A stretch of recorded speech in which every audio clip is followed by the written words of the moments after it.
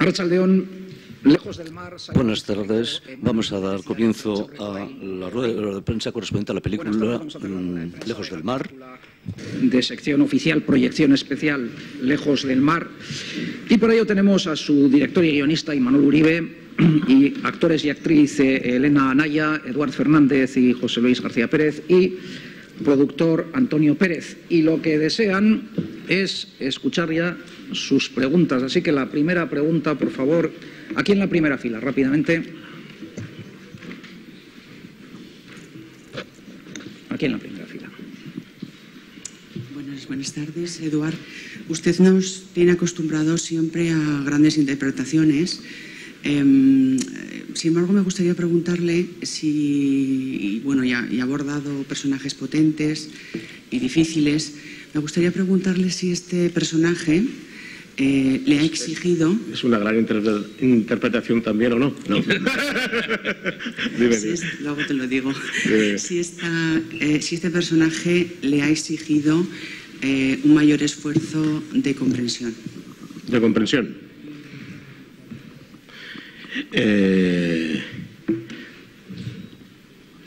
sí, es alguien que ha realizado un acto en su vida de la cual, del cual se arrepiente profundamente eh, que tiene que convivir con él toda su vida, ¿no? Eh, esa parte uno como actor, yo digo un actor, como todas las personas tenemos muchos cajones, es cuestión de abrir el cajón que toque para cada personaje, ¿no? Yo no he hecho ningún acto del cual me arrepienta tanto, pero tengo algunos en mi vida de los cuales me, puedo arrepentir, es cuestión de abrirlo y ampliarlo muchísimo, ¿no?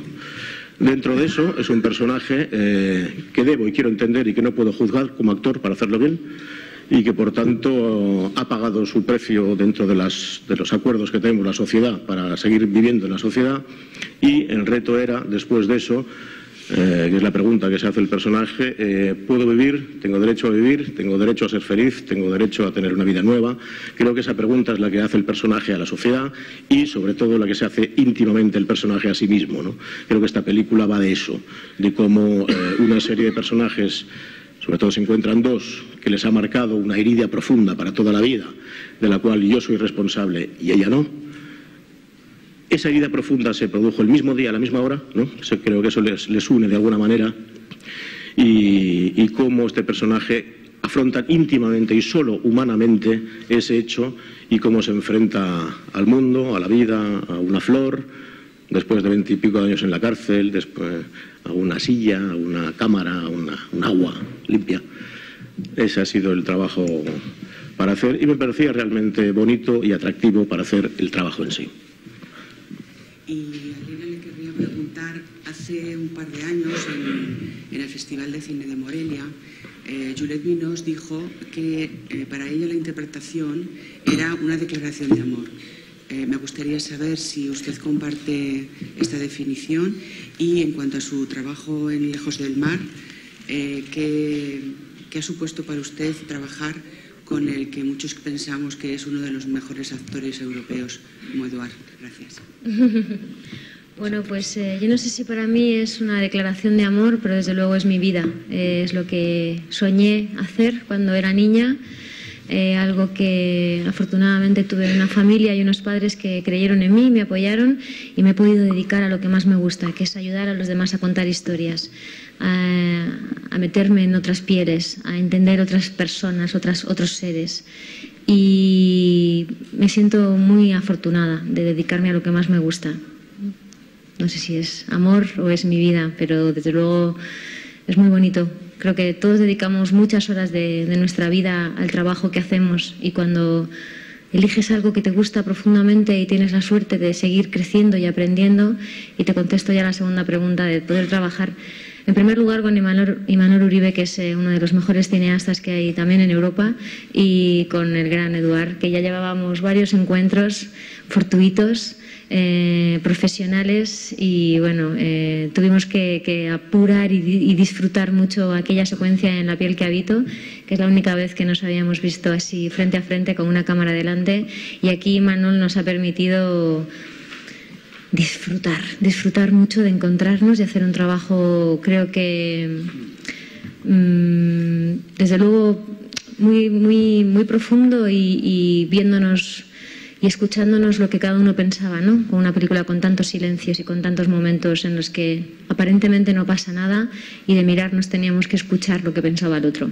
Es enorme tener un actor así, que te mira así y que te da tanto. Hola, buenas tardes. Eh, quería preguntarle a Manolo Uribe por qué esa nueva vuelta de tuerca, un tema que conoce bien y que a mí me parece que le ha dado muy buenos resultados, que a mí me parece que eh, requiere una gran valentía por todos los implicados en la película y, esa relación tan heavy, tan fuerte que de choque que quizá requeriría también la aportación de un psiquiatra para ayudarnos a, a comprenderla, ¿no? Gracias. Hola, Conchita.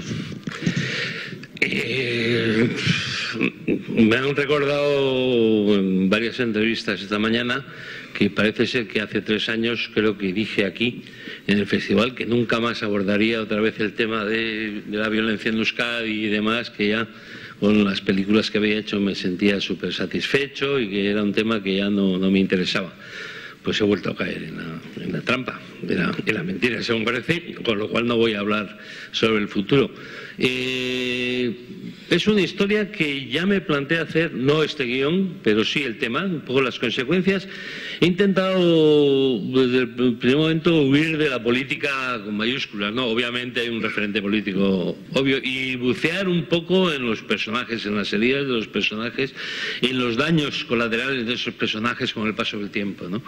Entonces, era un tema que tenía, como, como empezó a decir, en mente hace 18 años, yo creo que fue entre la muerte de Miquel y Incluso estuve localizando en Cataluña, en Cadaqués, para hacer esta historia, y se quedó en un cajón. Y hace poco más de un año estaba escribiendo con Daniel Cebrián, el guionista de la película, otra historia que no tiene nada que ver con esto, y de repente nos, nos vimos en un parón forzoso y de repente dije, mira, para, vamos a esperar para ocupar este tiempo voy a tirar de una historia que tenía antigua y en un cajón, vamos a ver qué, queda de sí, sin tampoco mucha fe. ¿eh?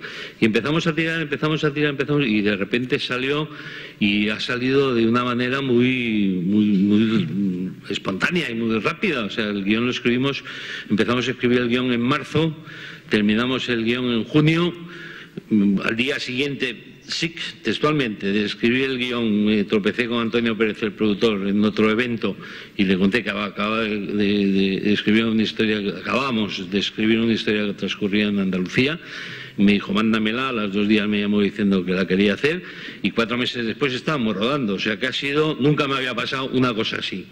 Todos, todos sabemos que los proyectos tardan, en el mejor de los casos, año y medio, dos años en ir formándose y cuajando y esto vino de una manera sobrevenida y ha sido así un poco todo el desarrollo.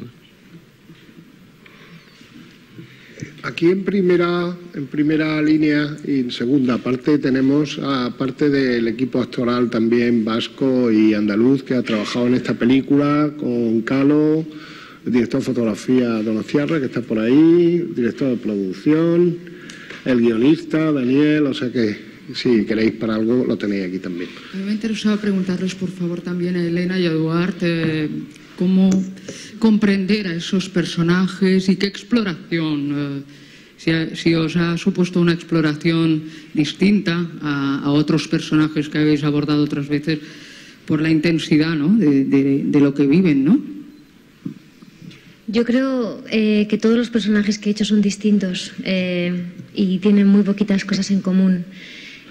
como comentaba Eduard, un actor tiene que hacer un ejercicio de exploración y buscar en lo más recóndito de su alma qué hay, ¿no? qué tiene, qué puede tener en común con, qué puedo tener Elena con, Marina, con mi personaje. Y para mí eh, ha, sido, ha sido muy bonito, creo que ha sido la vez que un director me ha escuchado más en rodaje no tanto, porque iba, iba, iba lanzado, pero en, hemos tenido casi dos meses previos al rodaje, donde nos reuníamos en casa de Imanol y se nos pasaban las horas, eh, disfrutábamos muchísimo de, hablar de estas dos personas y entenderlas en lo más profundo de su ser. Eh, para mí, hacer este personaje entrenado y adiestrado para salvar vidas, que salva todas menos la suya, y que en un instante de su vida eh, su corazón empieza a bombear y, se convierte en un ser instintivo y necesita por primera vez tomar decisiones y hacer lo que quiere hacer. No solamente agarrar una pistola y pegar tres tiros, sino hacer lo que quiere hacer, que es sentarse frente a este señor y hablar por primera vez en veintitantos años. Desde que era niña es la primera vez que se sienta frente a alguien y confiesa y habla y comparte eh, lo más profundo de, este dolor. ¿no? Em, como actriz me parece una oportunidad muy bonita de la que me siento súper agradecida y, ha sido dentro de lo difícil y como tú dices, eh, ha sido un rodaje muy placentero. Nunca en mi vida había estado sentada en maquillaje y me había venido el director, oye, oye, que va a amanecer. ¿Y? que vamos a ver amanecer. Y de repente ves que hay 35 personas del equipo que sueltan todo y que ven cada día cómo sale el sol. Un regalo. Eh, ¿Cómo era la cosa?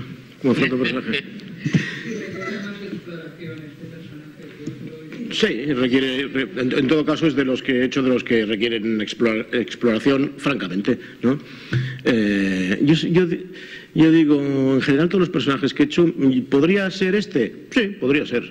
Cuando te cuentan, te, imaginas sintiendo, viviendo eso, ¿no? Al margen de la parte argumental, yo no he matado a nadie.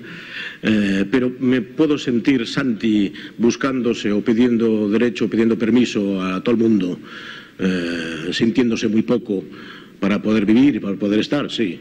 ¿Me, puedo sentir Santi pidiéndome permiso a mí para ser feliz? Sí, francamente. Ese color sé cuál es, eh, puedo tocarlo, ¿no? Por otro lado, eh, uno se dedica a contar esta parte íntima y pequeña que hay dentro de, la historia, ¿no? Confiando en que la parte argumental, y Manol que, ya desde el principio él deja trabajar mm, francamente, no, no es nada, nada egoísta con, la criatura, ¿no? tanto como Daniel Cebrián. Eh, trabajamos mucho los cuatro. Eh, es muy generoso y yo creo que Imanol, está feo decirlo que ahora que estás aquí, pero lo digo fuera, te lo digo aquí también. Es, yo creo que la medida, del la medida del teatro es humana, la medida del cine es inhumana, no puedes abarcarlo todo, es demasiada gente, demasiado buena haciendo lo mismo. ¿no? Imanol hace que, que esto tan inhumano Mm, que es el cine, darle una dimensión humana. Parece fácil, parece sencillo y es fácil contar una historia, ¿no?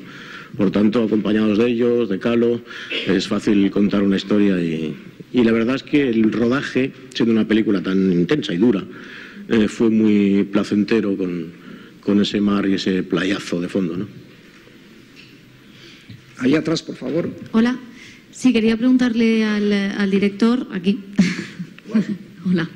Quería preguntarle al director eh, de qué manera el cine contribuye, de qué manera el cine ayuda a sacar el, tema de la reconciliación entre víctimas y, etarras, que está presente en los medios de comunicación, pero quizá qué aporta el cine eh, a esta reflexión. Bueno, espero que aporte algo. decir, esa, es mi intención. Yo creo que soy consciente de que es un tema muy complicado de abordar. Eh, en algún lado he dicho y me pareció buena idea que, he tenido la sensación cuando hacía cuando empezábamos a meternos en el proyecto. Ya luego te dejas llevar pero al principio como de, mm, de intentar cruzar un campo minado e intentar evitar que pisar alguna mina no equivocarte y, entonces yo creo que, mm, a pesar de las dificultades, de ser un tema complicado, de ser un tema doloroso para mucha gente, de ser un tema que pone a la gente nerviosa también, lo he visto en, alguna proyección que hemos hecho, ¿no? de la gente, hay un momento que se pone... Bueno, a pesar de todo eso yo creo que merece la pena creo que merece la pena hacer el esfuerzo e intentar. Yo no pretendo sentar cátedra de nada. Yo he cogido dos personajes, he huido lo más lejos que he podido de la política inmediata e intentado profundizar en esos sentimientos con estos personajes concretos que no pretenden ser modelo de nada. Es una, incursión personal que la he hecho además muy bien acompañado por, por todo el equipo y sobre todo por ellos dos.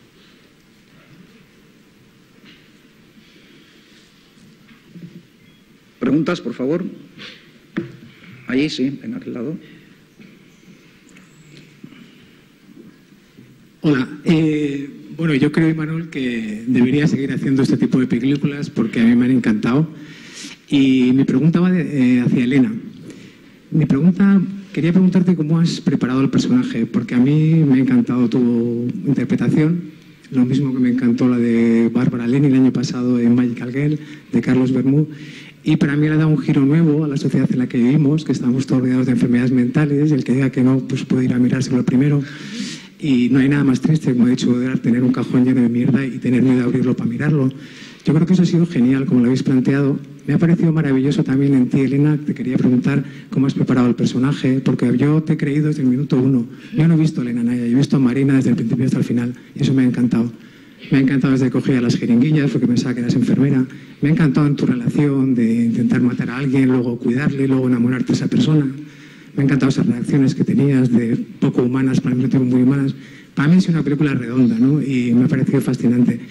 Y quizás, para terminar la pregunta, sería un poco como, no sé si has trabajado con gente que ha sufrido traumas en la infancia o qué material has utilizado, porque a mí me ha encantado. Muchas gracias.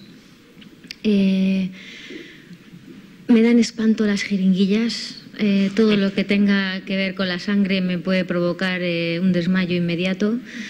Entonces, bueno, nos rodeamos de un equipo extraordinario que me llevaron directamente a la sala de urgencias. Pedí empezar poquito a poco, pero me llevaron directamente al clínico a urgencias. Entonces, bueno, me hice con todo eso. y Manuel estaba harto ya de mí, llegaba y decía, que no, que la vía no se pone así, que la déjalo, ¿no? Era como... Fue la parte más dura. Sí, sí, no, no, no, no, no, por supuesto, claro, había... No, pero antes de esto, eh, o sea, me quise ser Marina, ¿no? Quise ser Marina desde el minuto uno. Este personaje no lo he hecho yo, lo he hecho de la mano de Imanol y acompañada de Eduard. Em, Daniel también ha estado ahí escribiéndolo eh, con, con Imanol y yo creo que ha sido ha sido muy instintivo. Yo creo que este personaje tan mental y educado y entrenado para salvar vidas, que salva todas excepto la suya, eh, de repente cuando este señor se cruza por su lado, eh, creo que se convierte en la mujer más instintiva que he hecho nunca y era bonito, ¿no? Seguir ese instinto y, convertirme en esa persona que no, que no piensa más y que hace lo que siente y sigue, sigue esa fuerza interna que no controla y que no sabe lo que es.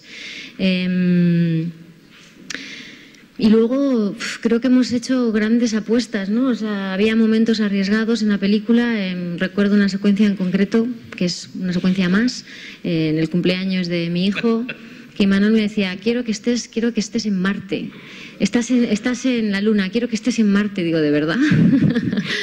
Con esa señora que me habla de su hijo que va a karate y yo estoy tan lejos de todo.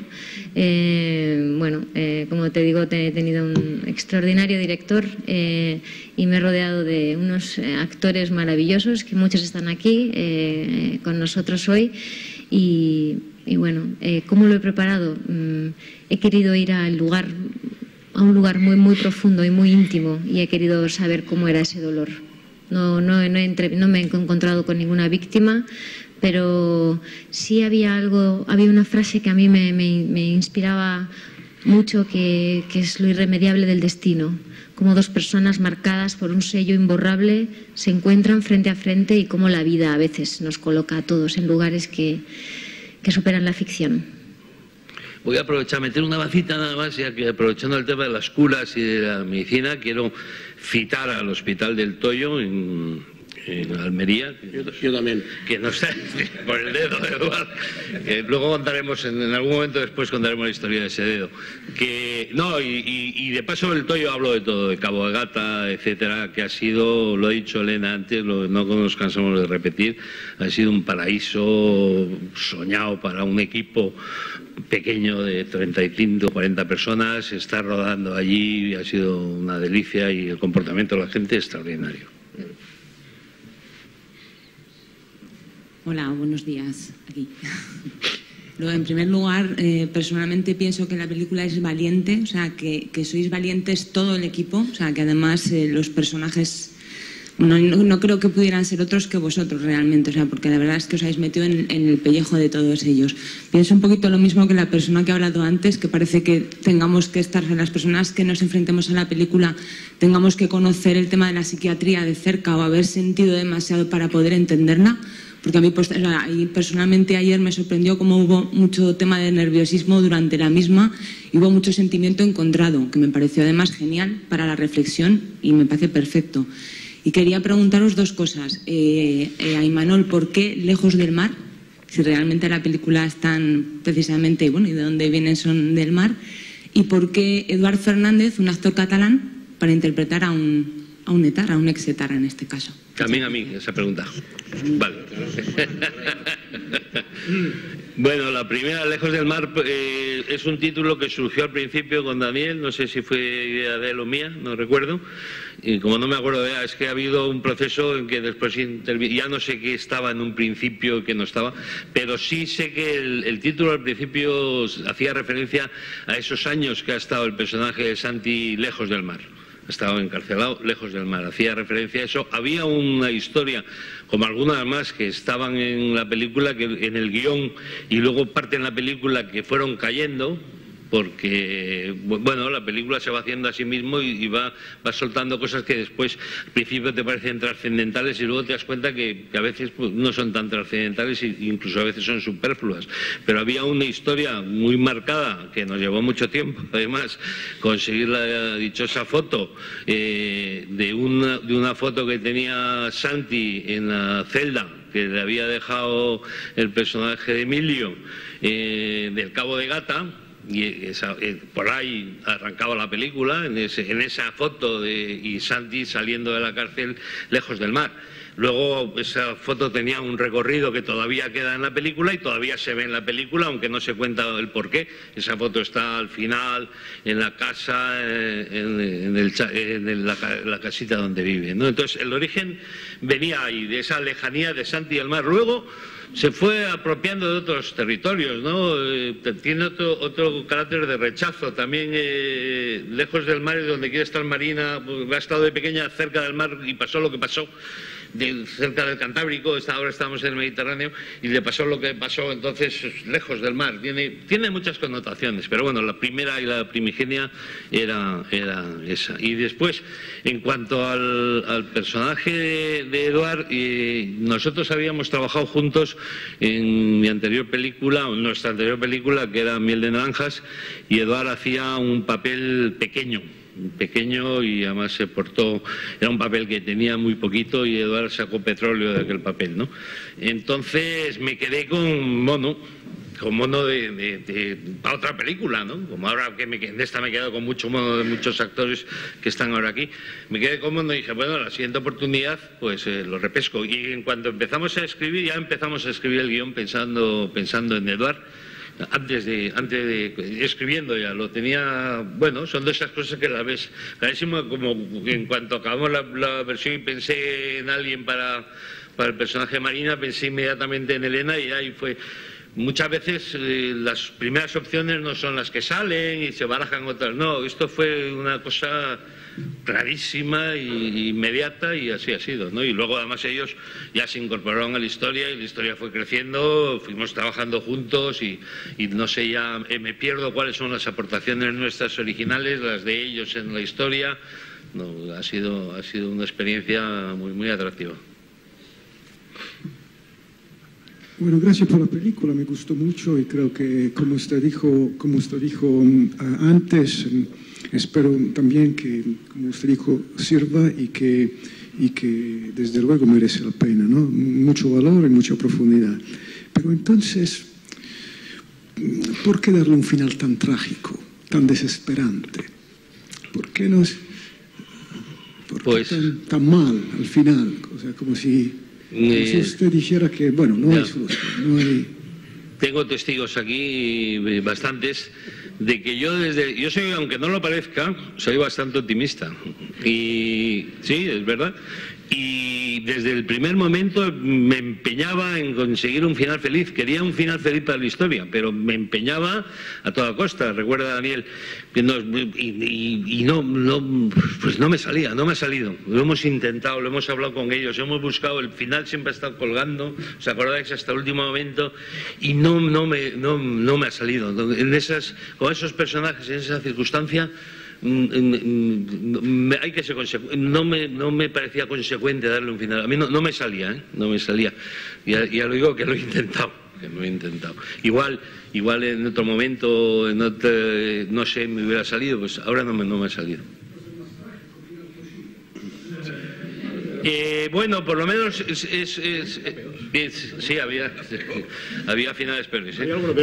Había, sí, había finales peores. Pero, pero este por lo menos es, es un final sugerido, entre comillas, ¿no? Es un final que no, que no vemos. Hombre, sé que no voy a poder hacer eh, Lejos del Mar 2 porque sería muy complicado, ¿no? Pero, pero es un final sugerido, quiero decir, que no vemos, que está rodado, ¿eh?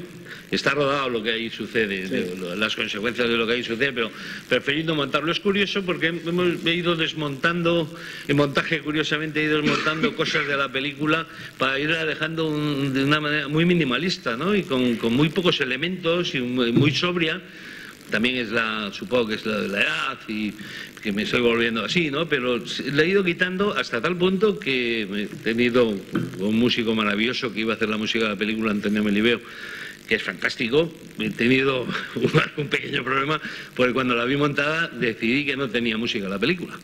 Que no, porque, no por la música de Antonio, que eran estupendas, sino porque la película mm, me pide esos silencios, no me pide ningún subrayado musical ni me pide nada. ¿no? Tiene una canción final de Javier Rival, que está en los títulos de final, y nada más, y esa actuación que hay en directo en la boda, no, no tiene, la película no tiene eh, banda sonora musical, digamos. Vamos a tratar de meter en, una edición que hagamos del DVD los finales que hay rodados, grabados en este caso, porque es muy interesante, ya que se haya visto, que no se haga spoiler, que no se pueda especular, es muy interesante todo el planteamiento y las dudas que se plantean los, creadores de la película y creo que será muy interesante para el cinefilo. Sí, eh, una pregunta para, para Imanol. Eh, Has dicho antes que en algunas proyecciones tú has detectado el nerviosismo que provoca la película. Quería que profundizaras en por qué crees que el espectador eh, se pone nervioso o, se descoloca. Hola, Oscar. Eh, hombre, porque yo creo que son temas muy, muy que tienen mucha carga de profundidad durante eh, a lo largo de muchos años con mucha gente que ha provocado mucho dolor en, determinados niveles y, todavía es, son temas que, que dan un poco de, un poco de prevención acercarse a ellos, ¿no? Porque todavía creo que es muy bueno. Yo de ahí nuestro atrevimiento y lanzarnos al vacío creo que es muy bueno intentar hablar de ellos y, sacarlos a flote, ¿no? Pero, pero inevitablemente sí puedo entender que haya gente que se, se ponga muy nerviosa, que, le cueste eso, ¿no? Que nos cuestaba a nosotros al afrontar la historia. Me, me, refiero a ese tipo de nerviosismo, ¿no? Que te cueste, uy, hurgar en esa herida, mejor no taparla y no cuestionártela, ¿no? Y a, ese, a ese tipo de, de nerviosismo me refería. De hecho, va a inaugurar el año, el mes que viene, el Festival de Derechos Humanos que hacen en Bilbao tradicionalmente con eh, con la colaboración del, del, gobierno vasco, no sé cómo se llama el departamento de, víctimas, eh, para y precisamente nos han mandado una carta muy cariñosa diciendo que hemos sido súper valientes y que va a ser una que va a ser una aportación muy válida al, debate que hay y sobre todo que, les ha gustado muchísimo y va a inaugurar el Festival de Derechos Humanos. ¿Alguna pregunta más, por favor? ¿No hay más preguntas? Muchas gracias, Carricasco.